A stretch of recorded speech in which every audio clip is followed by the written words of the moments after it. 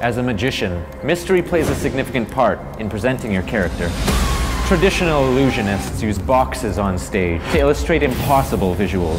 Now what if you could do the same, but with something you could carry in your pocket? A mysterious black envelope.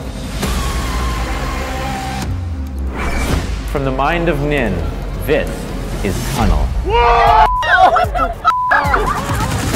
Imagine having your spectators sign two different banknotes and then placed in opposite ends of an empty black envelope.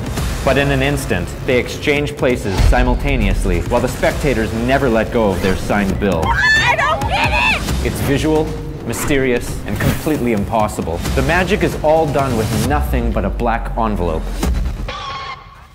It's a grand illusion, shrunk down to be carried anywhere you go. Get yours now, worldwide.